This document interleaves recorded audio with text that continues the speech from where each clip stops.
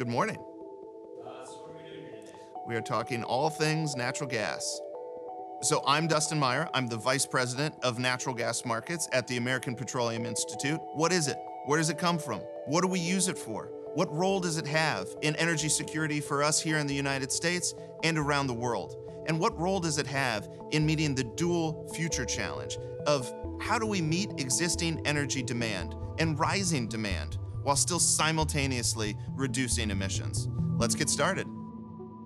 In the US, about 40% of natural gas goes to power generation, about 30% of it goes to residential use, so think in your cooking, but primarily for heating during cold weather. And then the third would be industrial applications. So that is how gas in the United States is used. And natural gas is just an inherently much cleaner molecule. So when you use natural gas to generate electricity, you get about a 50% emissions reduction from the GHG side, from the greenhouse gas side, as opposed to coal. But it actually extends beyond that. We justifiably spend most of our time talking about carbon dioxide emissions, right? GHG emissions. But there's also a huge reduction in uh, SOx and NOx and particulate matter. Natural gas has offers a sharp reduction in many instances a near total elimination of those types of emissions but creates a very flexible uh, reliable uh, energy market that ultimately at the end of the day we as consumers uh, can rely on liquefied natural gas, as the name suggests, it's the same molecule. It's still natural gas. It's still methane. It's just effectively run through a massive refrigerator that brings it down to a liquid form. When you move it into a liquid form, that means it's much more energy dense. That means that you can ship it on a vessel across the ocean in a way that wouldn't really be feasible if you just left it at a gas. We started exporting liquefied natural gas back in 2016. We are now the world's largest exporter of liquefied natural gas. It is very important to remember how we got here. It wasn't that long ago eh, when not only was the United States a major importer of LNG, we were actually projected by many to be the world's largest importer of LNG. What we're looking at here is the fairly dramatic rise in exports of liquefied natural gas from the United States. You can see those started in early 2016 and have increased steadily all the way to the present day.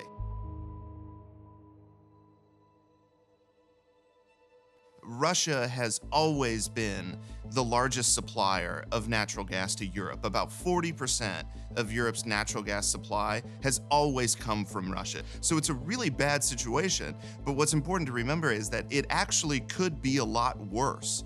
The reason why it's not worse is largely due to the role that US natural gas, and especially American liquefied natural gas or LNG, is playing in displacing that Russian pipeline gas. US LNG flows to Europe have increased significantly. That fundamental shift, it didn't happen overnight, but it also didn't happen by accident. This was the result of decades of innovation in the industry. That's what enabled all of this to happen. That's what enabled the United States to now play the role that it is playing in global energy markets. We really do face a dual challenge when we think about the future of energy. How do we continue to meet existing and future demand for energy of all forms while reducing emissions in a manner consistent with our climate targets? Natural gas really does have an important role to play in doing this. And here's why.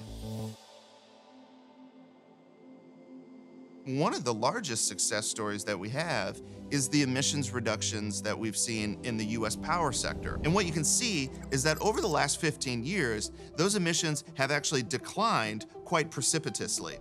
And when we talk about renewable energy, we're primarily talking about the use of renewable energy in the power sector. So as wind and solar generation fluctuates wildly on a minute to minute basis, it's really only natural gas that can balance that electricity generation and ensure that these grids operate reliably. I think that many folks in the policymaking community perhaps are starting to understand is if you restrict and limit the availability and the abundance of natural gas, you really do set yourself up into a precarious position. Going forward, we're going to have to invest in new supply, in building new infrastructure. We should be eyes open about the challenge ahead. The United States is uniquely blessed in terms of our energy resources. We have to remember that the, while there are so many global benefits, the, the primary beneficiary of our development of our natural gas resources and supplying this abundant natural gas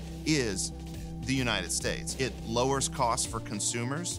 It uh, supports a tremendous amount of job creation across the United States, and it offers tremendous economic benefits to local communities all around the country.